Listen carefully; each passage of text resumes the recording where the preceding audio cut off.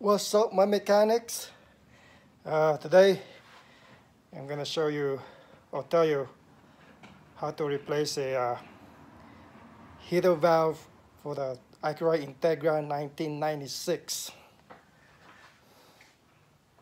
I already, uh, already replaced the system but this is the bad one right here. This one right here. Okay, so it broke off. You know, you can find it at the parts store.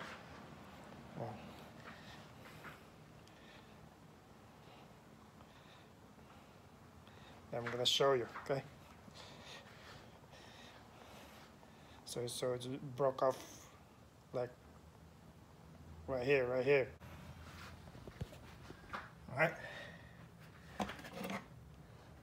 That's a bad one right there.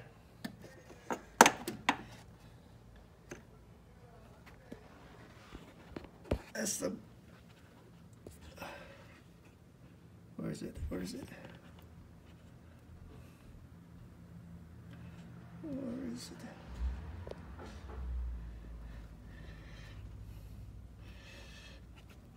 it? Shine my flashlight there. There it is. So, so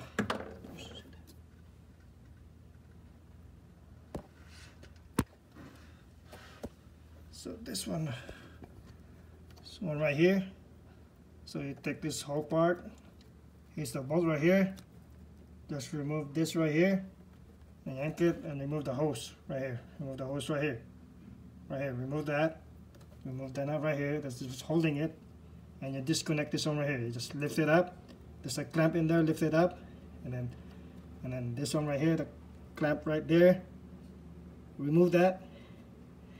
And then once the hose once the hose is off you re remove it yank it and then put it the same way same way as uh, you remove it this one right here will move okay will move but you just uh just put it on the same same place so it's gonna move back move back like that but you know once you install everything put it in the same spot right here so Guys, so this is the new heater valve right here.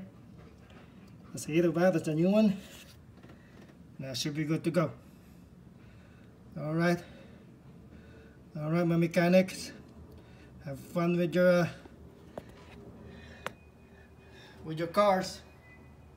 Enjoy your cars.